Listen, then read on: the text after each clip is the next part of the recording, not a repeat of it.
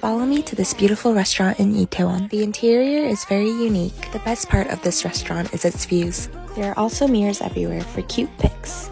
The food is very healthy and good. It's a perfect place to relax and enjoy the views. Follow for more Korea content.